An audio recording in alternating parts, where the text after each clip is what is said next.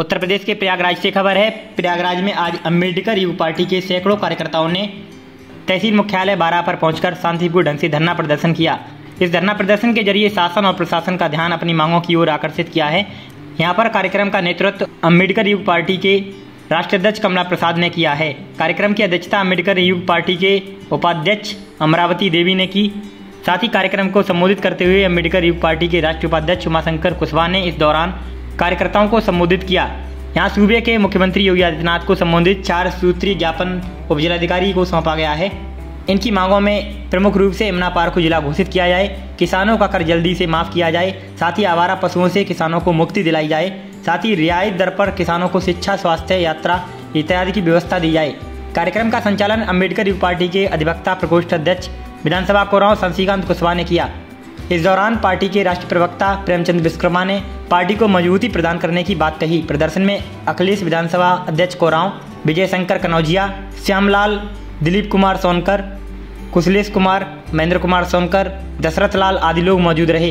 इन सभी ने अपने अपने विचार भी व्यक्त किए।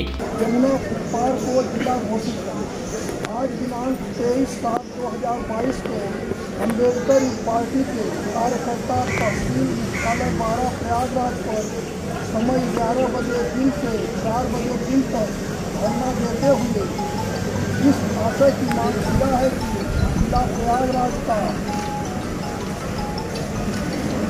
यमुना पार, जिसके अंतर्गत चार तहसील कोराव मेजा बारह और काफ़ी जो कि जिला मुख्यालय से काफ़ी दूर यहाँ तक कि तहसील कुराव जिला मुख्यालय यमुना पार से नब्बे किलोमीटर दूर है। कुराव तहसील के पूर्वी बादल से प्रयागराज जिला मुख्यालय सरकारी कार्य से आने में विभिन्न कठिनाइयों का सामना करते हुए पाँच घंटे से भी अधिक समय लगता है और साधारण नागरिकों को सैकड़ों रुपया आवागमन में खर्च कर वापस अपने घर दस बजे रात या दूसरे दिन पहुँचना पड़ता जिला मुख्यालय पहुँचने में ही वहाँ के लोगों को दो बज जाता तब तक अधिकांश अधिकारी अपनी सीट छोड़कर कहीं अन्य किसी कार्यों में व्यस्त हो जाते हैं। वहाँ का फरियादी अपनी शिकायत अथवा लोकहित की मांग सरकार और प्रशासन तक नहीं पहुँचा पाता।